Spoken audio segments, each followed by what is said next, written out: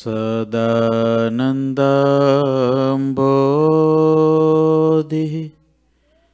स्मितरुचिरपूर्णे दुवदन जन्मच्छदसदृश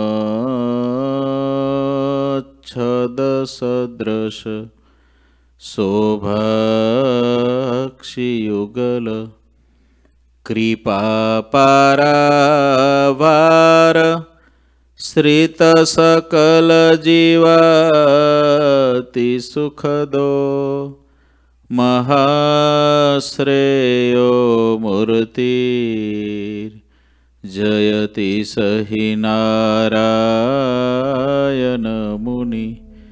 वर्निवेशरमणीयदर्शनम् मन्दहासरुचिरात्मनाम्बुजम् पूजितं सुरनरोत्तमेर्मुदा धर्मनन्दनमहं विचिन्तये। ॐ अवतारिणे श्रीस्वामिनारायणाय नमो नमः। ॐ श्रीहरिकृष्णाय नमो नमः ॐ શ્રીપૂર્ણપુરુષોત્તમાય નમો નમઃ. બોલો શ્રી સ્વામિનારાયણ ભગવાનની, શ્રી હરિકૃષ્ણ મહારાજની, શ્રી ઘનશ્યામ મહારાજની જય. બધા ભક્તોને એથી જય સ્વામિનારાયણ. સદગુરુ આધારાનંદ સ્વામી શ્રી હરિચરિત્રમ સાગર ગ્રંથની અંદર પૂર અગિયારમું અને તરંગ ત્રેવીસ, એમાં છેલ્લે કથા લખે છે કે ભગવાન શ્રીહરિ ધોરાજી ગામમાં બિરાજમાન છે.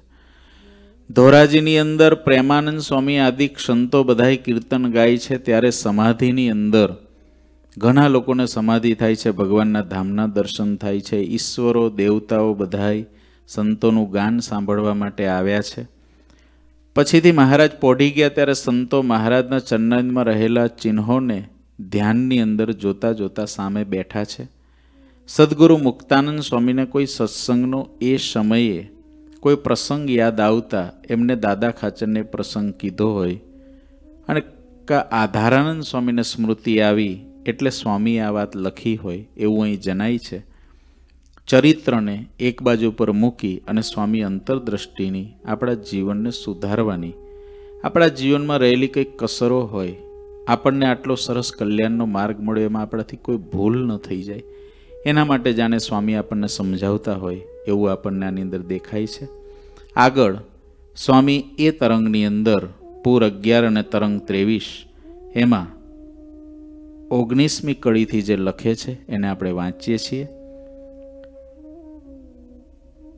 તાપર ઈર્ષા લાવે જે હા નિશ્ચય ગોર નર્ક પડે તે હા તાકે મોક્ષ કબહુ ન હોવે તાકો મોક્ષ કબહુ ન હોવે નિષ્પાપ કુ પાપ બુદ્ધિ જો જોવે નિષ્પાપ કુ પાપ બુદ્ધિ જો જોવે જે સંતો ભક્તો એવા હોય કે જે પોતે ભગવાનના આપેલા ધર્મ, નિયમો એને પાળતા હોય, બીજાને એ પાળવાનું શીખવાડતા હોય. પોતે ભગવાનના સ્વરૂપ સંબંધી જ્ઞાનને મેળવતા હોય અને બીજાને આપતા હોય. પોતે ભગવાન શ્રી હરિની ઉપાસનાને શુદ્ધ રાખતા હોય અને બીજાને ઉપાસના સમજાવતા હોય. સત્સંગની રીતિ પોતે સત્સંગની રીતમાં વર્તતા હોય અને બીજાને વર્તાવતા હોય, આવો શ્રેષ્ઠ ઉપદેશ, આવો શ્રેષ્ઠ સમાજ તૈયાર કરવાવાળા ભગવાનના મોટા સંત હોય કે મોટા ભક્ત હોય, ત્યારે અહીં આગળ લખે છે, એવા સંતોની ઉપર જે ઈર્ષા રાખે, તેઓ તો નિશ્ચિતપણે ઘોર નરકમાં પડે છે. જે લોકો નિષ્પાપ સંતોને પાપ બુદ્ધિથી જુએ છે તેનો મોક્ષ ક્યારેય થાય નહીં. આ વાત આપણને એમ સમજાવે છે, કોઈ નિષ્પાપ વ્યક્તિ હોય, સંત હોય કે ભગવાનનો ભક્ત હોય, એને પાપ બુદ્ધિથી જો એ આપણા કલ્યાણના માર્ગમાં બહુ મોટું વિઘન છે. પાપ બુદ્ધિવાળો કેવો એ તો કેટલું મોટું નુકસાન છે એનું તો કોઈ ગણિત જ નથી. પણ પાપ બુદ્ધિથી ભગવાનના એવા નિર્દોષ સંત કે ભક્તને જોવા, એ પણ કલ્યાણના માર્ગમાં મોટું વિઘ્ન છે. અહીં લખે છે, એનો મોક્ષ ક્યારેય થાય નહીં. અને આ પાપ બુદ્ધિથી જોવાનું કાર્ય ક્યારે થાય છે? કોઈ ઈર્ષાવાળો વ્યક્તિ હોય, એ જ્યારે ભગવાન કે ભગવાનના સંતનું કંઈક ઘસાતું બોલે ત્યારે આપણી દ્રષ્ટિ પણ એ સંત કે ભક્ત પ્રત્યેની એવી થઈ જાય છે. અનુભવમાં પણ આપણને એવું દેખાય છે, ઇતિહાસોમાં પણ એવું દેખાય છે. મોટા મોટાને પણ એવું થઈ ગયું છે. માટે ભગવાનના સંત અને ભક્તનો હલકો શબ્દ સાંભળવો જ નહીં. જેને એવો નિયમ હશે જીવનમાં કે મારે હલકું સાંભળવું નહીં, હલકું જોવું નહીં, હલકું વાંચવું નહીં આવો નિયમ હશે ને, એને કલ્યાણના માર્ગમાં ક્યારેય વિઘન નહીં આવે. પણ જેને આવો નિયમ નહીં હોય અને જિજ્ઞાસા વૃત્તિ થોડી ઘણી પણ રાખવાની ટેવ હશે, એને ડંસ ક્યારેક વિઘ્ન કરી જાય. ક્યારેક અમૃતનો ઘડો પણ આપણને વિષનો ઘડો લાગવા લાગે, જેમ પેલા ચાર ચોરોએ ભેગા થઈને ગાયનો વાઘ કરી દીધો. ગુણાદિતાનંદ સ્વામીની વાતમાં આવે છે. ચાર ચોર હતા. અને ચાર ચોરે એક ભૂદેવ હતા ને તે એક ગામમાંથી ભૂદેવને ગાય દાનમાં મળેલી. ગાય બહુ સરસ, રૂપાળી એવી, દૂધે સારું આપતી હશે. અને એ ગાયની જોડે પાછો વાછડો હતો. એટલે આ ગાય આ ચોર લોકોને લેવાની ઈચ્છા થઈ. પણ આ ભૂદેવ પાસેથી લેવી કેમ? ભૂદેવ કંઈ, એ તો દાન લેવાવાળા છે, દાન આપવાવાળા થોડા છે. એટલે ચાર ચોરોએ એક એવી સ્કીમ બનાવી કે આપણે આ ગાયનો ભાગ કરી દઈએ ને તો આપણી પાસે ગાય આવી જશે. એટલે થોડા થોડા અંતરે ચાર ચોર ઊભા રહ્યા. ભૂદેવ નીકળતા હતા એટલે પેલો પહેલો ચોર બોલ્યો, એ ભૂદેવ એ ભૂદેવ, દૂરો દૂરો દૂરો આ વાઘને લઈને ક્યાં આલ્યા કે આ વાઘ તમારી યારે ભૂદેવ કે ગાંડો થયો છે, ગાય છે, નોય વાઘ કે આ ગાય છે, વાઘ, નોય. પેલો કે, ભૂદેવ, હું તમને બે હાથ જોડું છું, આ વાઘથી દૂર રહો ફાડી ખાશે. ભૂદેવ કે, હાવ, પાગલ માણસ લાગે છે, આ ગાય છે. એમ કરીને ભૂદેવ આગળ આલે થોડુંક ગયા, ત્યાં બીજો ચોર ઊભો હતો.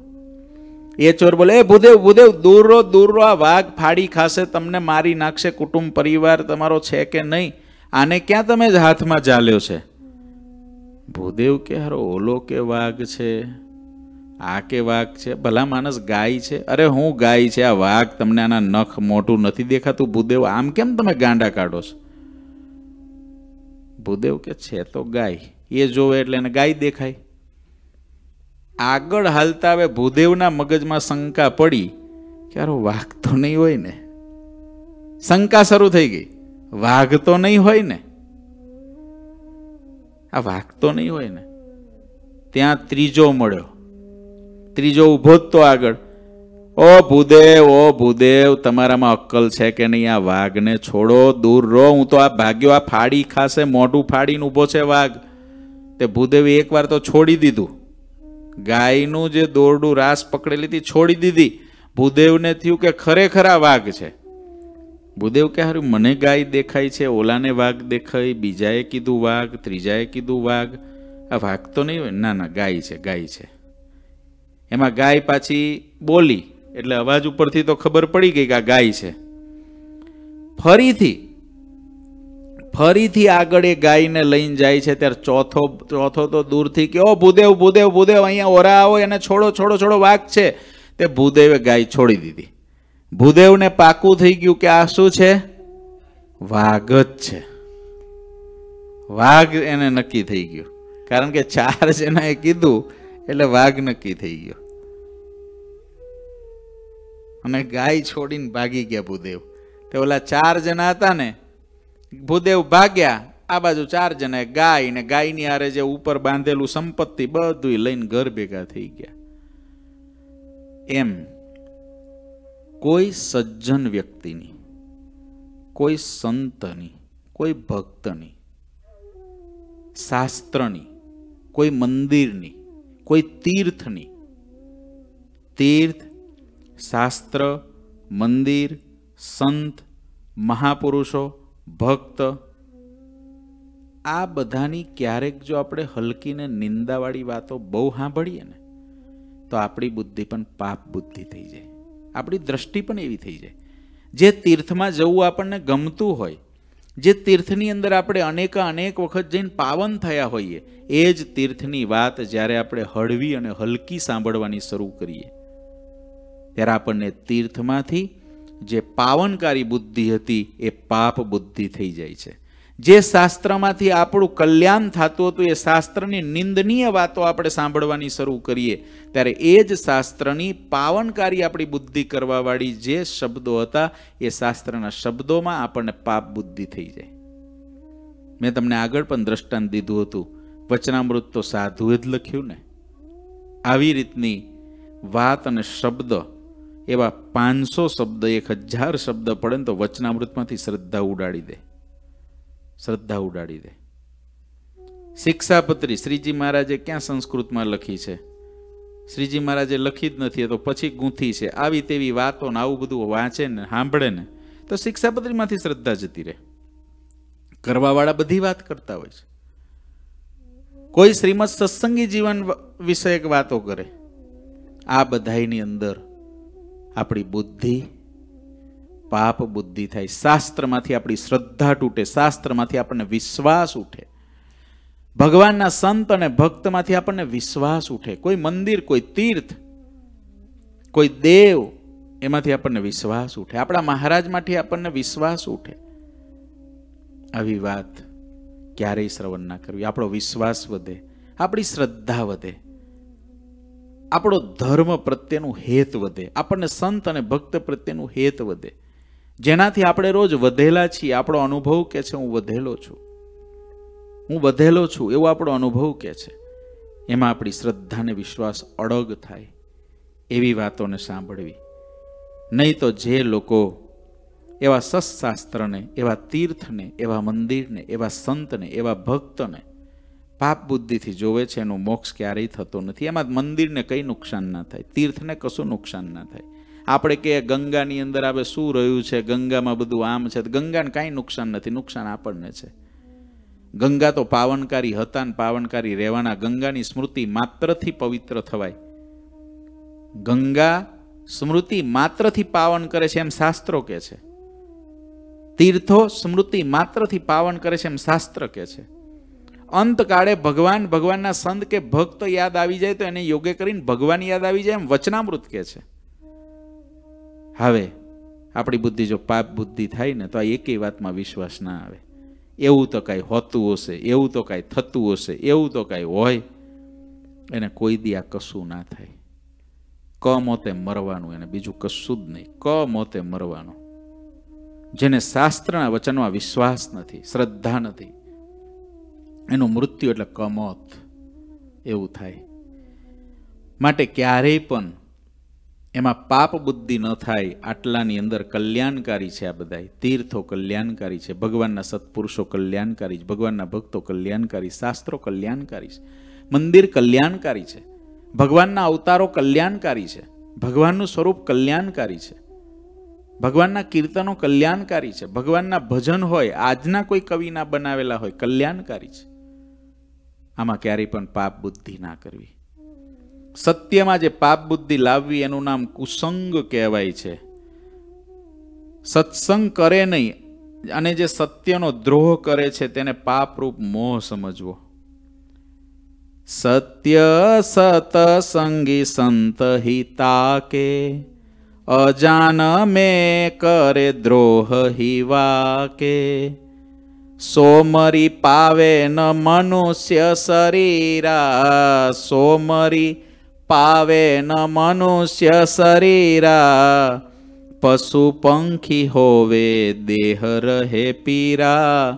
પશુ પંખી હોવે, દેહ રહે પીરા. સત્ય સતસંગી સંત હિતા કે અજાન મેં કરે દ્રોહ હિવા કે સાચા સત્સંગી અને સાચા સાધુનો જે અજાણતા પણ દ્રોહ કરે છે, તો તેના મરણ પછી તે ફરીને ક્યારેય મનુષ્યના શરીરને પામતો નથી. પશુ પંખીના જન્મને પામે છે અને તેને શરીરની પીડા ભોગવવી પડે છે. કોઈ ભગવાનના સાચા સંત કે કોઈ ભગવાનના ભક્ત હોય. અજાણતા દ્રોહ કરે એવો શબ્દ લખ્યો છે જાણી જોઈને દ્રોહ કરે એનું તો શું પરિણામ આવે? એ તો ભગવાન જાણે અને જેનાથી દ્રોહ થાય એ જાણે. પણ અજાણતા દ્રોહ થાય તો પણ ભગવાન શ્રી હરિ એમને પોસાય એવો નથી. ત્રણ પ્રકારની બાબતો સત્સંગમાં અતિ અગત્યની છે. શ્રીજી મહારાજે વચનામૃતની અંદર જેનો વારે વારે ઉલ્લેખ કરેલો છે એવી ત્રણ પ્રકારની બાબતો વધારે જોવા મળે છે. એમાં એક છે અભાવ, બીજો છે અવગુણ અને ત્રીજો છે દ્રોહ. આ ત્રણ શબ્દ વચનામૃતમાં વિશેષ રીતે વાપરવામાં આવ્યા છે. ભગવાન વારે વારે એનું ઉચ્ચારણ કરે છે અભાવ, અવગુણ અને દ્રોહ. આપણે વારે વારે એવું સાંભળીએ છીએ કોઈના અભાવમાં ન પડવું, અવગુણ ન લેવો અને દ્રોહ ન કરવો. અભાવ છે પાણીમાં લીટો છે. પાણીમાં લીટો કરો તો કેટલી વાર રહે? અભાવ. કોઈની ભેગા આપણે રહેતા હોઈએ. આપણે ભેગા બધા થતા હોઈએ. એટલે કંઈક ને કંઈક આપણો મત મતાંતર હોય. કંઈક આપણે બોલતા ચાલતા હોઈએ. ક્યારેક આપણે કોઈ સાથે હસવા જઈએ, પણ એનો મૂળ ના હોય, તો એને આપણો અભાવ આવે. કે આ શું જ્યારે હોય ત્યારે હસ્યા કરે છે. એવો બધો અભાવ ઘણી બધી ક્રિયાઓમાં, રોજિંદી આપણી ક્રિયાઓમાં એકાબીજાનો આવતો હોય. અભાવ છે પાણીમાં લીટો છે. તરત ભૂસાઈ જાય. સવારમાં આવ્યો હોય તો સાંજે પાછું ગુણ બદલાય તો ભૂસાઈ જાય. અવગુણ છે ને, એ જેનો અભાવ આપણને વારે વારે આવ્યા જ કરે, આવ્યા જ કરે, આવ્યા જ કરે, આવ્યા જ કરે એટલે એ અભાવ અવગુણમાં પરિણમી જાય. પછી શું થાય? એ વ્યક્તિના જે ગુણ છે ને, એ પણ આપણને અવગુણ જ દેખાય. એમાં ગુણ હોય એ દેખાય જ નહીં અને કેવળ એના અવગુણ જ દેખાયા કરે. એમાં ગુણ ઘણાય હોય, પણ એ ન દેખાય. પણ અવગુણ એના બધા દેખાય. એના બીજા સો ગુણ હોય એ પડ્યા મૂકીને ફક્ત અવગુણને ગ્રહણ થાય. કારણ કે હવે અભાવ આપણને એનો બહુ પાક્કો થઈ ગયો ને, એના કારણે શું થયું? કે એ વ્યક્તિમાં આપણને હવે અવગુણ દેખાવા લાગ્યો. અને અવગુણ આવતા આવતા એનું પરિપક્વ સ્વરૂપ થાય છે દ્રોહ. દ્રોહ થવાનું જ્યારે શરૂઆત થાય, ત્યારે સામેવાળા જે વ્યક્તિ છે, એ ભગવાનનો સંત છે, ભક્ત છે એ કેવા મોટા છે? એની અંદર કેવા ગુણ છે? એને ભગવાનને અર્થે, સત્સંગને અર્થે, સંતો ભક્તોને અર્થે કેટલું કર્યું છે? મારા માટે, પોતા માટે કેટલું કર્યું છે? આવો કોઈ પણ પ્રકારનું જ્ઞાન વ્યક્તિને રહેતું નથી. એ અભાવ અવગુણ પછી અલગ અલગ રીતે એ આવવાના ઘણા બધા કારણો હોય છે. મારો સ્વાર્થ હોય તો પણ આવે. મારે કોઈક માન મોટપની અપેક્ષા હોય તો પણ આવે.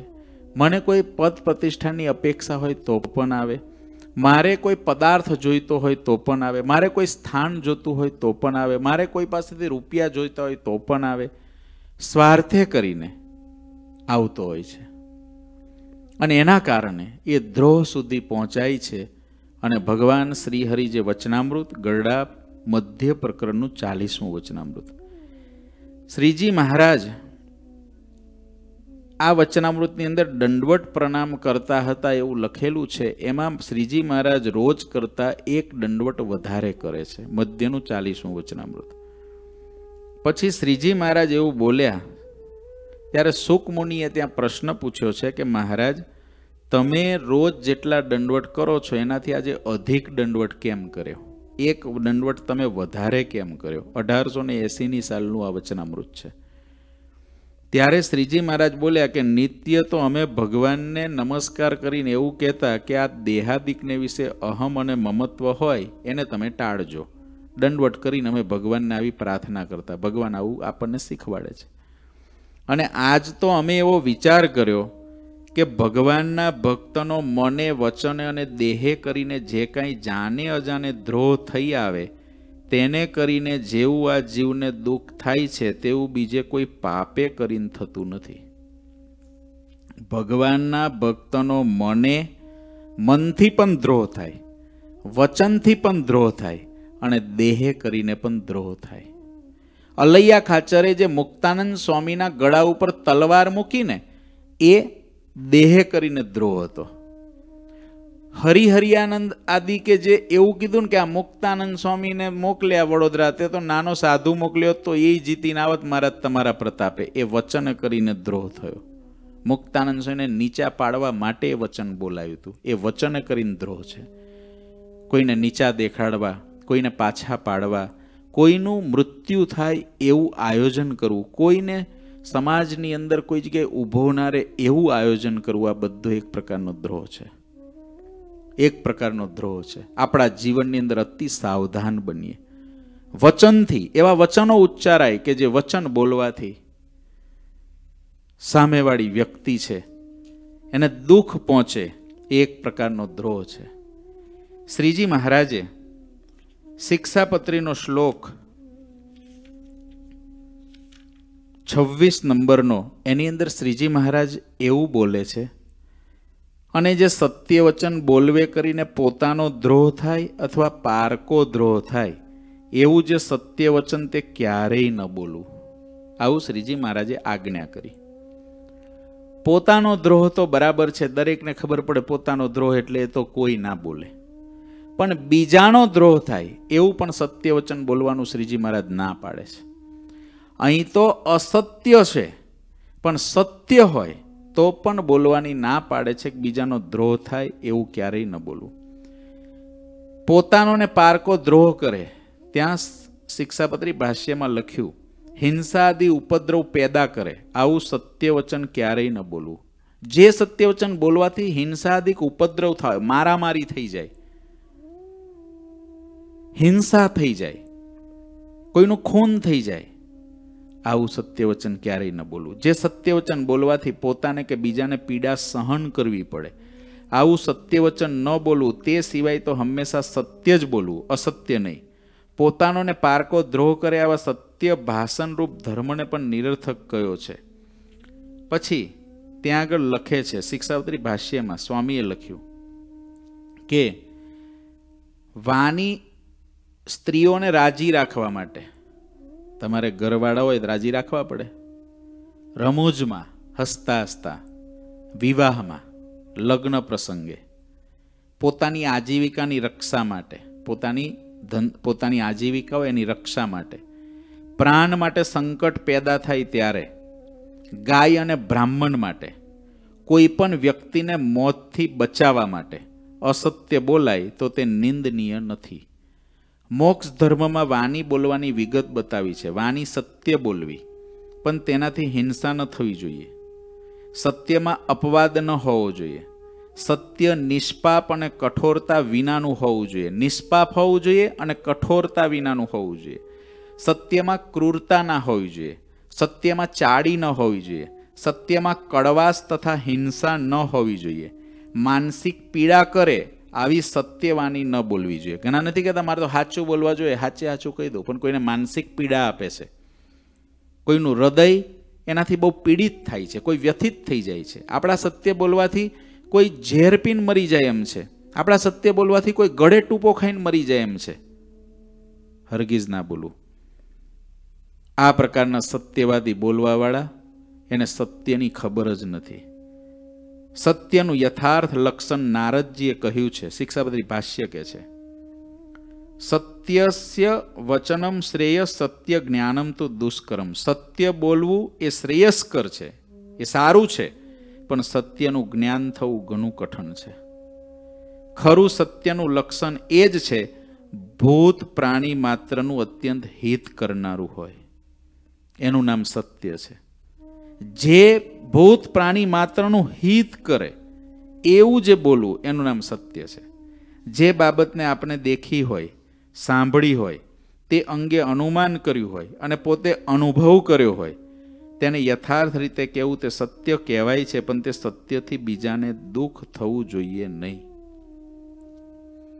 આવી રીતનું શ્રીજી મહારાજે પોતાને પારકો દ્રોહ થાય. ત્યાં આગળ પણ પારકો દ્રોહ અહીંયા આગળ વાત જે આવી છે કે જ્યારે સાચા સત્સંગે કે સાચા સાધુનો જે અજાણતા પણ દ્રોહ કરે તો તેના મરણ પછી તે ફરીને ક્યારેય મનુષ્યના શરીરને પામતા નથી. દ્રોહને સમજવો બહુ અઘરો છે. જે બીજાનું અહિત કરે ને, જે સમાજનું અહિત કરે, જે કોઈ વ્યક્તિનું અહિત કરે, જે કોઈના મનને પીડા આપે, જે કોઈને વ્યથા આપે, આ બહુ મોટો દ્રોહ છે.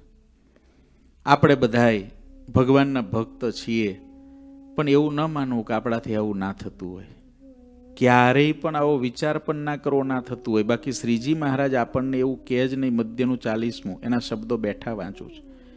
ભગવાનના ભક્તનો મને, વચને, દેહે કરીને જે કાંઈક જાણે અજાણે દ્રોહ થઈ આવે છે, તેને કરીને જેવું આ જીવને દુઃખ થાય છે, તેવું બીજે કોઈ પાપે કરીને થતું નથી. વિચારો. એક પણ પાપ આ પૃથ્વી પર એવું નથી કે જેને કરીને દુઃખ થાય. જેટલું દુઃખ ભગવાનના ભક્તના દ્રોહે કરીને થાય છે. અને મન, વચન અને દેહ ત્રણ પ્રકારે દ્રોહ થતો હોય. માટે જાણે અજાણે, મને, વચને, દેહે કરીને જે કાંઈ ભગવાનના ભક્તનો દ્રોહ બની આવ્યો હોય, તેનો દોષ નિવારણ કરાવ્યા સારું એક પ્રણામ અધિક કર્યો. અને અમે તો એમ જાણ્યું છે કે ભગવાનના ભક્તના દ્રોહે કરીને જેવું આ જીવનું ભૂંડું થાય છે અને જીવને કષ્ટ થાય છે, તેવું કોઈ પાપે કરી નથી થતું. આ શ્રીજી મહારાજના શબ્દ કોઈ દી અન્યથા ના હોય. કોઈ દિવસ અન્યથા ના હોય. માટે આપણે કોઈ તીર્થને ન સમજી શકીએ. આપણે કોઈ શાસ્ત્રને ન સમજી શકીએ. આપણે કોઈ દેવતા છે એને ન સમજી શકીએ. આપણે કોઈ સંત છે એને ન સમજી શકીએ. આપણે કોઈ ભક્ત હોય એને ન સમજી શકીએ. બે હાથે વંદન કરી દૂર રહેવું. બે હાથે વંદન કરી લેવા. મને સમજાતું નથી.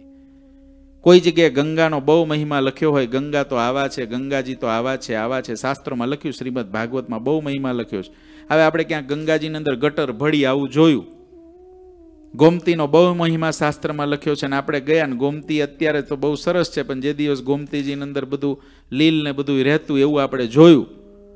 ઘેલાજીનો આપણે બહુ મહિમા સાંભળ્યો, પણ ઘેલાનું નીર હુકાઈ ગયું આવું આપણે જોયું. ત્યારે એમાં અશ્રદ્ધા પેદા ના થાય એનું ધ્યાન રાખવું. અશ્રદ્ધા ન થવી જોઈએ. વંદન કરી લેવા. શાસ્ત્રમાં લખ્યું હોય, બરાબર હોય, મારા જેવા મૂર્ખને મારા જેવા બુદ્ધને હું સમજાય? સંતનો મહિમા લખ્યો હોય, જેવી એ સંત કરે છે સાય રે, તેવી બીજા થકી કેમ થાય રે? એવો નિર્ભય પદ નિર્વાણ રે, તેના દેનારા સંત સુજાન રે. આવો મહિમા લખ્યો હોય, સંત હું ને હું તે વળી સંત. આપણને કંઈક ના સમજાય. કેમ એ લખ્યું હશે નિષ્કુળન સ્વામીએ? મને નથી સમજાતું. મારી બુદ્ધિ ટૂંકી છે. આ ભગવાન શ્રીહરિ સર્વ અવતારના અવતારી સર્વોપરી છે. આ વારનો જે અવતાર ન થાય, વારંવાર નથી આવ્યા ને આવશું ક્યાંથી? સૌ જાણજો મનમાંથી. આવું લખ્યું છે. પાછું ગોલોકવાસી એ જ આવ્યા એવું લખ્યું છે. આ બધું શું છે? બદ્રિકાશ્રમમાંથી નરનારાયણ ભગવાન આવ્યા છે. નારાયણ નર ભ્રાતા દ્વિજ કુળ તનુધારી શું છે? ના સમજાય.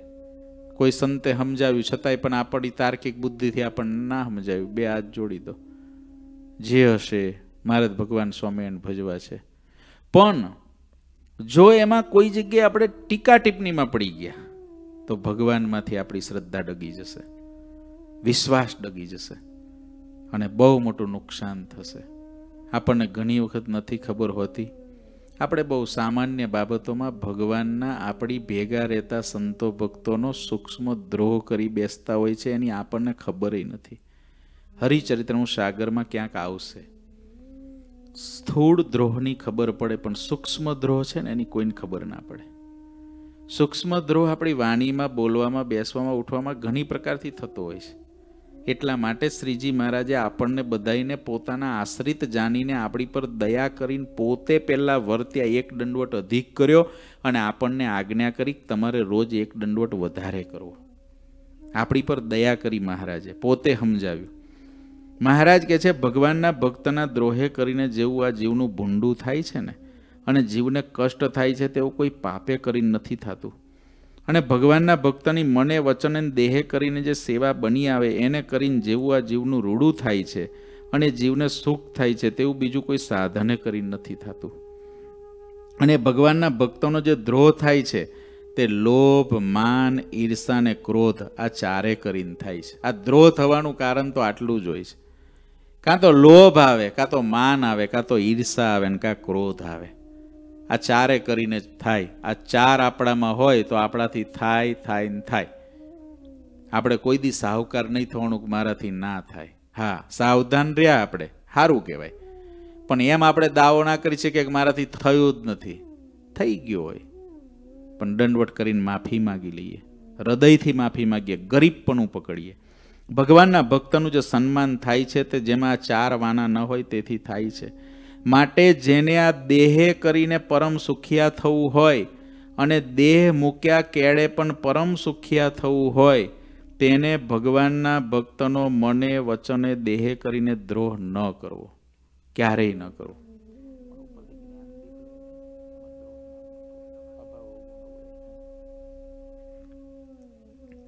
જેને દેહે કરીને પરમ સુખિયા થવું હોય. દેહ મૂક્યા કેળે પણ પરમ સુખિયા થવું હોય. એને ભગવાનના ભક્તનો મને, વચને, દેહે કરીને દ્રોહ ન કરવો. જો ભગવાનના ભક્તનો કંઈક દ્રોહ થઈ જાય તો તેની વચને કરીને પ્રાર્થના કરવી, મને કરીને દેહે કરીને એને દંડવટ પ્રણામ કરવા. ફરીને દ્રોહ ન થાય એવી રીતે વર્ત્યાનો આદર કરવો, પણ એકવાર દ્રોહ કરીને દંડવટ પ્રણામ કર્યા અને વળી ફરી દ્રોહ કરીને દંડવટ પ્રણામ કરવા, એવી રીતે વર્તવું નહીં.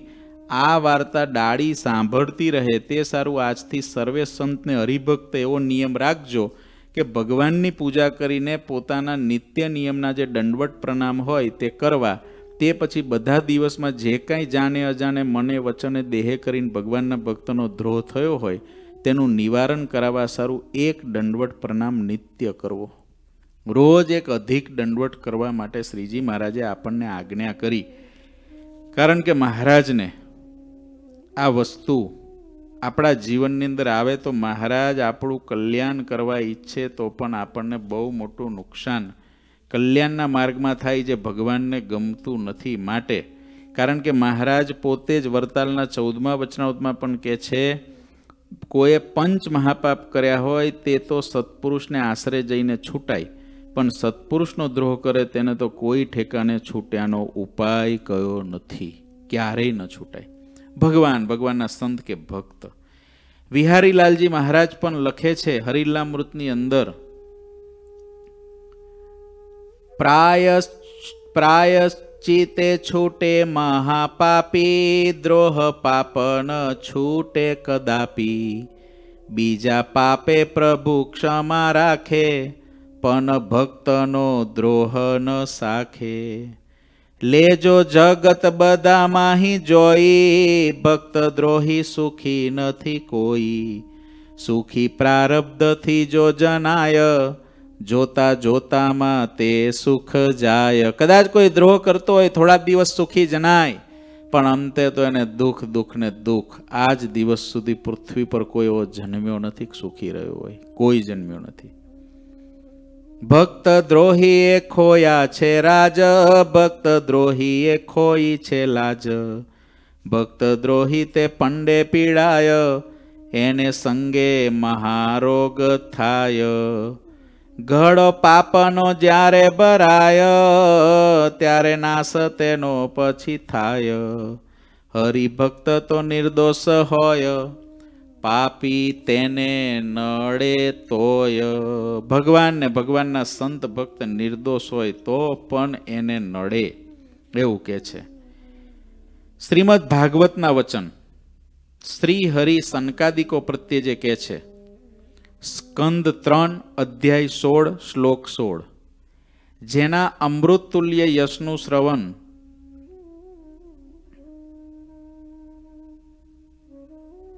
સોરી સ્કંદ દસ, અધ્યાય ચાર અને છેતાલીસમો શ્લોક. સુખજી પરીક્ષિતને કહે છે. આયુહો સ્ત્રિયમ યશો ધર્મમ લોક નાસીસ એવ ચ. હંતી શ્રેયાંસી સર્વાની પુંસો મહદ અતિક્રમ. મહાપુરુષોનો અપરાધ પુરુષના આયુષ્ય. લક્ષ્મી, યશ, ધર્મ, સ્વર્ગાદિક લોક સર્વ કામનાઓ અને સર્વે કલ્યાણનો નાશ કરે છે. બધાનો નાશ કરે છે.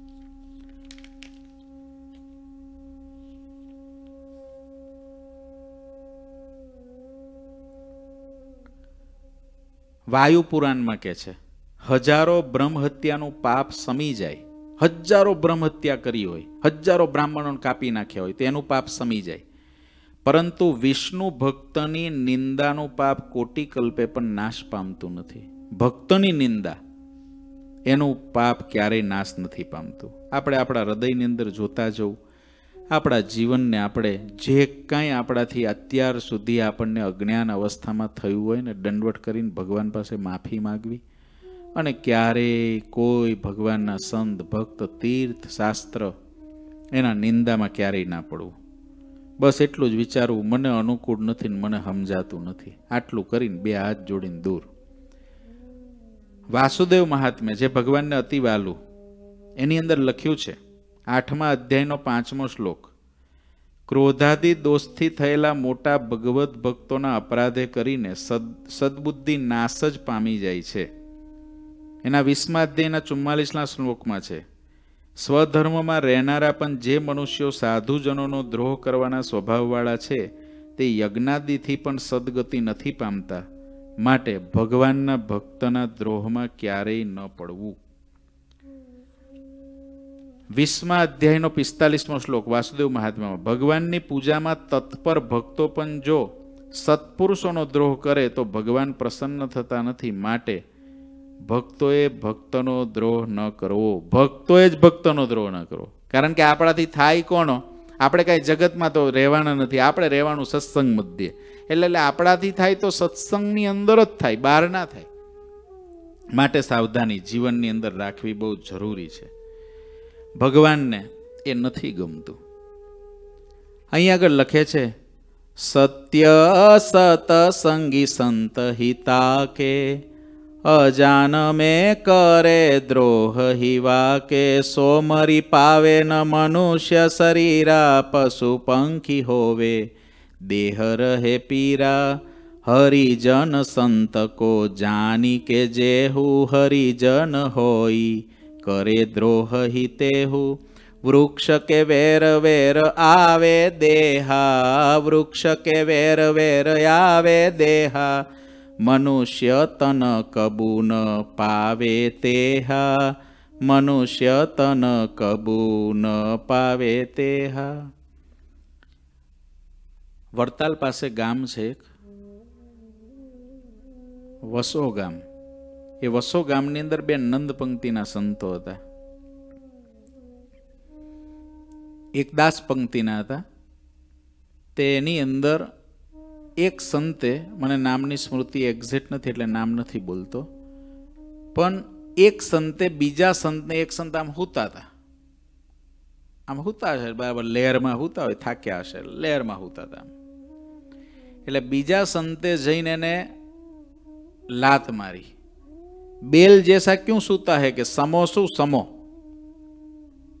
નારાયણદાસ હતા એ જે હોતા હતા બેલ જેસા ક્યુ હોતા હે સમો શું એટલે હરખો શું હરખો? આટલું જ ખાલી કર્યું, હા? એક્ઝેક્ટ નામને બધું હું આવતી કથાની અંદર કહીશ.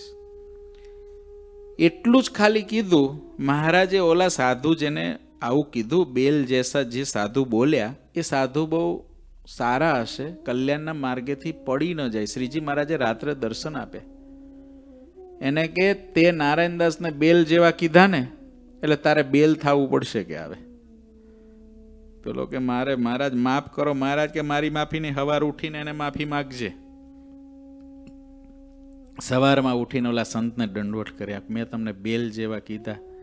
મારો અપરાધ ક્ષમા કરો. ત્યારે કે, જાઓ, મહારાજ, બેલ નહીં કરે, હું પ્રાર્થના કરીશ. ખાલી બેલ જેવા, બળદ જેવા કહી દીધા. એમાં તો શ્રીજી મહારાજ કે, આ તારો દ્રોહ થયો હાજે તારે બળદનો અવતાર આવશે. બહુ બીવું બહુ બીવું અતિશય બીવું એવું નહીં, સત્સંગની અંદર કોઈ વૈષ્ણવ ભક્ત હોય. કોઈ પરોક્ષના ભગવાનના ભક્ત હોય. પરોક્ષમાં હોય. કોઈ રામને ભજે છે, કૃષ્ણને ભજે છે. કોઈ શિવને ભજે છે. જે કોઈ ભગવાનના માન્ય દેવી દેવતાઓ અવતારો એને કોઈ ભજે છે, એવા ભગવાનનો કોઈ પણ ભક્ત, વિષ્ણુ ભક્ત હોય, શિવ ભક્ત હોય, કોઈ ગણપતિનો ભક્ત હોય, કોઈ હનુમાનજીનો ભક્ત હોય, કોઈની ટીકા ટિપ્પણી નહીં. બે હાથ જોડીને વંદન એમને જે ઉપાસના મળી છે ને એ કરે છે. દિલથી ભજે છે. એ જેને ભજે છે ને એ પામશે. મારે જેને પામવા છે ને હું ભજું છું. હા, સમજાવવું, મહારાજનું સ્વરૂપ કોઈને સમજાવવું, એમાં કોઈ પ્રોબ્લેમ નથી. પણ કોઈ પણ ભગવાનનો ભક્ત, હૃદયથી જે ભગવાનનો ભક્ત છે, એવા પરોક્ષમાં કેટલા બધા ભગવાનના ભક્તો થયા. મીરાબાઈ, નરસિંહ મહેતા, ત્યાર પછી થયા ડોંગરેજી મહારાજ જેવા, કૃષ્ણશંકરસિંહ શાસ્ત્રીજી જેવા. કેવા ભગવાનના ભક્તો? ભગવાન શ્રી કૃષ્ણના ભક્ત હતા. શ્રીમદ ભાગવત ભાગવત પુરુષો હતા. એવા ભગવાનના ભક્તો હોય, જે ભગવાનના એવા સંતો હોય. વંદન બસ. ઉપાસનાનો ભેદ હોય, ચાહે શાસ્ત્રનો ભેદ હોય, ચાહે પ્રાપ્તિનો ભેદ હોય, પણ ભક્ત એ ભક્ત જ છે. ભક્ત એ ભક્ત જ છે. જેની નિષ્ઠા હોય ને, જેને એવું છે ને કે ભાઈ કોઈને શ્રી કૃષ્ણની નિષ્ઠા છે, કોઈને રામચંદ્રજીની નિષ્ઠા છે, કોઈને શિવજીની નિષ્ઠા છે, એને જે જ્યાં હોય ને ત્યાં નિષ્ઠાવાળો જ હોય. એ જ્યાં જશે ત્યાં નિષ્ઠાવાળો બધે નિષ્ઠાવાળો જ હોય. એને જો ભગવાન સ્વામિનારાયણ મળશે તો એમાં નિષ્ઠાવાળો થશે. અને નિષ્ઠા વિનાનો હશે દડા જેવો. એ બધે દડા જેવો જ હોય. પણ ભગવાનનો ભક્ત હોય ને, એને વંદન કરી લેવા એના આશીર્વાદ લઈ લેવા એમાંથી શીખવું. શ્રીજી મહારાજે એટલે જ જો આપણને કેવો વિવેક બતાવ્યો ગઢડા અંતેના સોળમા વચનાવતમાં શ્રીજી મહારાજે હનુમાનજીને યાદ કર્યા પતિવ્રતાની ટેકમાં. મહારાજ કે હનુમાનજીને રામા અવતાર પછી બીજા ઘણા અવતારો થયા છે. પણ હનુમાનજીને જેવી રામચંદ્રને વિશે પ્રીતિ છે, એવી બીજા કોઈ અવતારને વિશે થઈ નથી, એવી આપણે આપણા ઈષ્ટદેવને વિશે પ્રીતિ રાખવી, પણ પોતાનું નાક કપે એવી વ્યભિચારીની ભક્તિ ના કરવી. ભક્તિ કોના જેવી? પતિવ્રતાની કીધી હનુમાનજી જેવી. અને ગોપીઓ જેવું ભગવાનમાં હેત કીધું. દ્રષ્ટાંત મહારાજે વચનાવૃતમાં દીધું ત્યારે ગોપીઓને જેવું ભગવાન શ્રી કૃષ્ણમાં હેત હતું, એવું હેત આપણે આપણા ઈષ્ટદેવમાં કરવું સુખદેવજી જેવો વૈરાગ્ય કીધો. વૈરાગ્ય કેવો હતો કે સુખદેવજી મહારાજ જેવો. એ મહારાજ આપણને શું શીખવાડે છે? એ મહારાજ આપણને એમ શીખવાડે છે કે ભગવાનના ભક્તો ગમે ત્યાં હોય, એમાંથી ગુણ લેવો. પરોક્ષમાં રહેલા ભગવાનના ભક્તોનો પણ જો ગુણ લેવાનો હોય એનો પણ જો અવગુણ ના લેવાનો હોય, તો પ્રગટ ભગવાન શ્રી હરિને ભજતા હોય.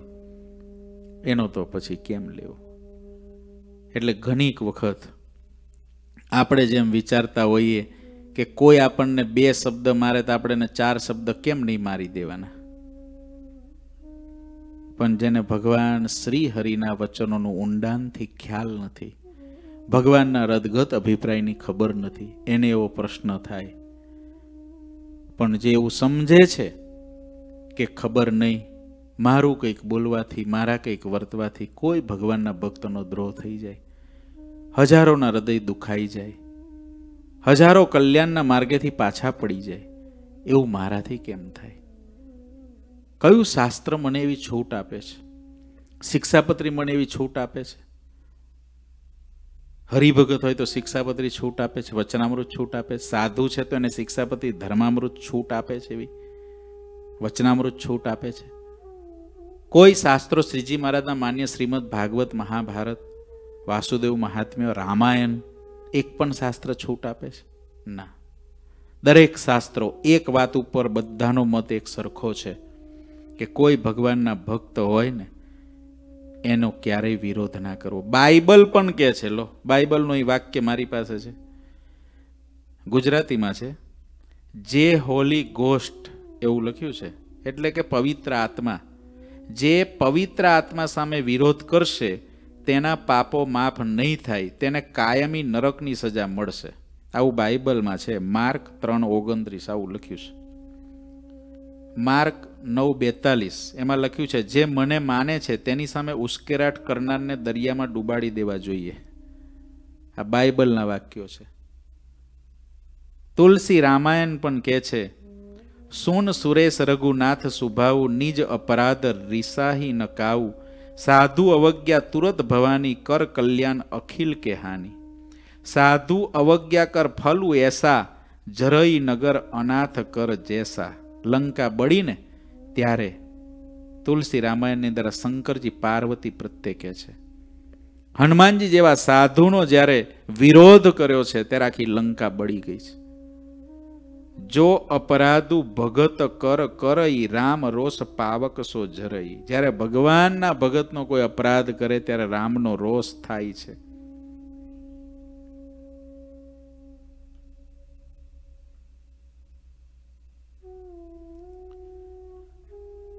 તુલસી સંતાપીએ બુરી ગરીબ કી હાય, મુઆ ઢોર કે ચામ સે લોહા ભસ્મ હો જાય. સંત સંતાપે જાત હે ધર્મ રાજ અરુ વંશ, તુલસી ત્રણે ટીલે ન દીઠા રાવણ કૌરવ ને કંસ. આ બધાય સાધુ ભગવાનના ભક્ત એને સંતાપવાથી જ આ બધાના વંશ ગયા. અને નજરે વર્તમાન કાળે પણ મોટા મોટા ગણાતા હતા. એવાની પણ વર્તમાન કાળે આપણે પૃથ્વી ઉપર એવા ઘણા બધાના દ્રષ્ટાંતો દેખાય છે કે જેની અંદર બહુ મોટું નુકસાન થાય છે. કારણ કે કોઈ ભગવાનનો ભક્ત કે સંત છે ને એની આંતરડી જે દુભાઈ જાય ને, આંતરડી જે દુભાઈ જાય ને, એમાંથી જેનો હાય નીકળી જાય ને હાય કોઈ ગરીબની હાય શ્રીજી મહારાજ કે અમે ગરીબથી બીએ છે, બ્રાહ્મણથી બીએ છે, ભગવાનથી બીએ છે અને ભગવાનના ભક્તથી બીએ છે, વરતાલનું અગિયારમું બીક લાગે છે. જે હાય નીકળી જાય ને, એ હાય કેટલી લાહી લગાડી દે આપણા જીવનમાં. કેટલી લાહી લગાડી દે. હા, કોઈને રાગથી, દ્વેષથી થતું હોય, એ વાત આખી નોખી છે. પણ આપણે કોઈનું ખરાબ કરવાનો સંકલ્પ કરીએ, આપણે કોઈનું બુરું કરવાનો સંકલ્પ કરીએ, ભગવાન આપણાથી હજારો, લાખો, કરોડો ગાઉ છેટા જતા રહે. આપણે કોઈને દુઃખી નથી કરવા. કોઈને દુઃખી કરીને સુખી થવું. એ સજ્જનનો રસ્તો નથી. બીજાને સુખી કરીને પોતે દુઃખ લઈ લે, એ સજ્જન સંત અને ભક્તનો રસ્તો છે. માટે કે છે, સ્વયં હરિભક્ત થઈને પણ જે જાણી જોઈને હરિભક્તનો કે કોઈ સંતનો દ્રોહ કરે છે, તે વારે વારે વૃક્ષના જન્મને પામે છે. એને ક્યારેય મનુષ્યનું શરીર મળતું નથી. આ શાસ્ત્રના વચન આવા જ હોય. આપણે સાધુ થઈ ગયા અમે કે તમે હરિભગત થઈ ગયા. એટલે આપણું પૂરું નથી થઈ ગયું, પૂરું થઈ ગયું. પણ હવે આડું અવડું કાંઈ ના કરવું માટે આપણને જ્યાં મળ્યું છે ને, સંતોષ રાખીને respect all follow one hate none કોઈ આપણને એમ કે, ભાઈ, તમે સમજો છો એમાં મહારાજનું સ્વરૂપ આવી રીતે સમજો છો, પણ એવું સર્વોપરી નહીં. મહારાજને આવી રીતે સમજવાના. હવે આપણને સમજાઈ ગયા સર્વોપરી. આપણને એમાં સંતોષ છે. અને કોઈ આપણને કોઈ ભગવાનનો ભક્ત છે સંત છે સમજાવવા આવ્યા કે ના ના બધું હરખું છે એવું માનો. બે હાથ જોડીને વંદન કે એમની સમજણ મહારાજને એવી સમજાવી હશે, એવું સમજાવ્યું હશે.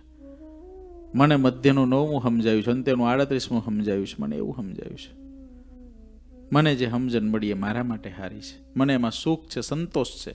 મને એમાં ભગવાનનું સુખ આવે છે. હું કલ્યાણના માર્ગે ચાલું છું. બે હાથ જોડીને આપણે આપણા રસ્તે. પણ કોઈને ટીકા ટીપણી દ્રોહ એ કાંઈ નહીં. આપણને શ્રેષ્ઠ સમજાયું તો આપણે મહારાજને પ્રાર્થના કરીએ, હે મહારાજ, આવું તમે એ ભક્તને પણ સમજાવજો. પ્રાર્થના કરીએ. પણ કોઈ ભગવાનના સાચા સંત કે ભક્ત આપણે હોવા છતાં પણ જો કોઈનું કોઈ દ્રોહ થઈ જાય, તો વૃક્ષના જન્મને પામે છે, એને ક્યારેય પણ મનુષ્યનું શરીર મળતું નથી. આવું થાય.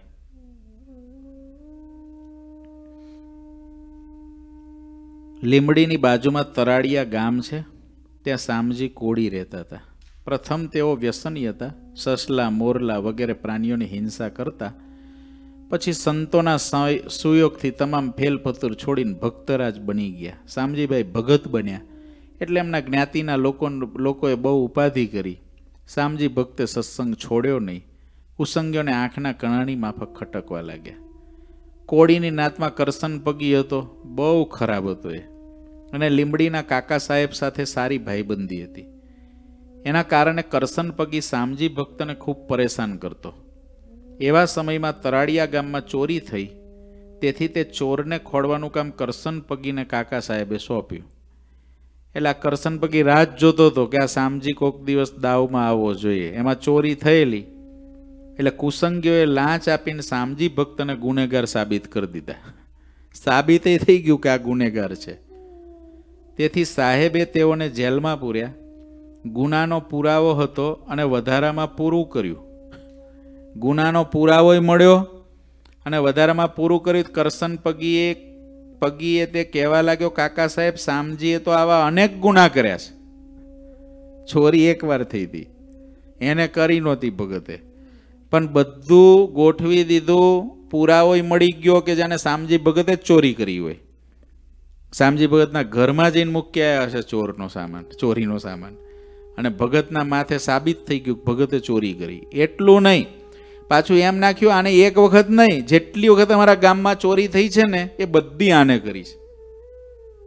અંતેનું ચૌદમું વચનામૃત છે ને, એવું કે છે કે જ્યારે કોઈ ભગવાનનો ભક્ત, સંત, કોઈ તીર્થ, મંદિર કોઈ પણનો દ્રોહ કરવા બેસે ને, ત્યારે મોરે જેટલી સેવા કરી એનાથી લાખ ગણો કરે તો એને શાંતિ ના થાય. એવું અંત્યનું ચૌદમું કે છે. મોરે જેટલી સેવા કરી હોય, એનાથી લાખ ગણો દ્રોહ કરે તોય શાંતિ ના થાય. એમ વચનામૃત કે છે.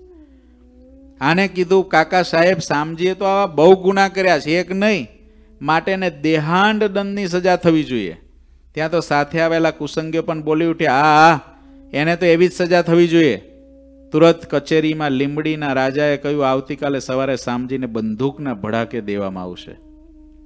નિર્દોષ હોવા છતાં મોતની સજા થઈ સામજી ભક્તો તો જેલમાં રડી પડ્યા. ભગવાનને પ્રાર્થના કરવા લાગ્યા, હે પ્રભુ, મને વહેલા ધામમાં તેડી જજો. આનું નામ ભગત કહેવાય. શું આ દુનિયાએ નિર્દોષને છોડ્યા છે નથી છોડ્યા? એક કે વખત ચોરી નથી કરી, એની માટે જેટલી ચોરીઓ થઈ, બધી ચોરીનું આ બધું આવ્યું. માટે આ હરિચરિત્રનું સાગર આપણને કહે છે, જે લોકો નિષ્પાપ ને પાપ બુદ્ધિથી જુએ, એનો મોક્ષ ક્યારેય થતો નથી. મને વહેલા ધામમાં તેડી જજો. તુરંત દયાળુ પ્રભુએ દર્શન આપ્યા ને બોલ્યા, સામજી, ભગત, તમે નિર્દોષ છો, તેથી તમને ગોળી નહીં વાગે, માટે ચિંતા કરશો નહીં. પણ માની લો કે આ સામજી ભગત વખત જો વોટ્સએપ હોત ને ફેસબુક હોત ને તમારે શું આ ઈમેલ ને બધું હોત તો શું થાત? આખી દુનિયામાં સામજી ભગત. એટલે આ સ્વામિનારાયણનો ભગત થઈને ચોરીઓ કરી. જોવો ને કેટલી ચોરીઓ કરી. વાંચ્યું નહીં તમે કેટલી ચોરીઓ કરી? એક ચોરી તો એના ઘરમાંથી જ નીકળી, સાબિત થઈ ગયું ને બીજી તો અનેક અનેક ચોરીઓ એને જ કરી છે. હવે એ એ વાત સામજી ભગતની. આવો ભગવાનનો પાકો ભગત. હજારો લાખો પાસે પહોંચે અને એમાંય કેટલા અજ્ઞાનીઓ ને ઊંધી બુદ્ધિવાળા હોય અને કેટલાક નિર્દોષ બિચારા હોય. તે તો કોકને વાત કરવા લાગે, લે, ઓલા સામજી ભગતની વાત સાંભળી, ચોરી કરી ચોરી કરી. તો અહીં કીધું, અજાણતા જો કોઈ દ્રોહ કરે ને, તો પણ મરણ પછી એને ફરીને મનુષ્ય શરીરમાં પાછું એનું શરીર મળતું નથી મનુષ્યનું. અજાણતા કરે તો, જાણી જોઈને નહીં, અજાણતા કરે તો, આવું થાય. આમ કહીને શ્રી હરિજી અંતર્ધ્યાન થઈ ગયા કે તમને ગોળી નહીં વાગે, ચિંતા કરશો નહીં. સવારે શામજી ભક્તને મારવા માટે મારાઓ આવ્યા. સાથે કાકા સાહેબ પણ છે, ગામના નગરજનો પણ છે. ભગતને એક સ્થાને ઊભા રાખીને રાજાએ હુકમ કર્યો. તુરંત મારાએ ગોળી છોડી ત્યાં તો આશ્ચર્ય થયું. ગોળી છાતી અથડાઈને નીચે પડી ગઈ. અને બીજાએ ગોળી મારી તે પણ એમની એમ ફેલ થઈ, એટલે ત્રીજી વાર મારી. તો પણ ફૂલની જેમ છાતીએ સ્પર્શ કરીને નીચે પડી ત્યારે સાહેબે જોયું શામજી ભગતની આંખો બંધ કરીને ભગત તો સ્વામિનારાયણ સ્વામિનારાયણ ભજન કરતા હતા. કારણ કે ભગતને તો ધામમાં જવાની ઉતાવળ હતી. ભગતને ધામમાં જવાની ઉતાવળ હતી. ભગતને કંઈ અહીંયા આગળ ગોળી વાગેનારે કંઈ મતલબ જ નહોતો. અહીં તો લાજ તો ગઈ જ. લાજ તો ગઈ ગામમાં કે સાબિત થઈ ગયું ચોરી કરી છે એટલે લાજ તો ગઈ. બધી ચોરીનો એના માથે આરોપ નાખ્યો, એ થઈ ગયું. હવે ગોળી જ ખાવાની બાકી બીજું બધું પતી ગયું છે, પૂરું થઈ ગયું છે.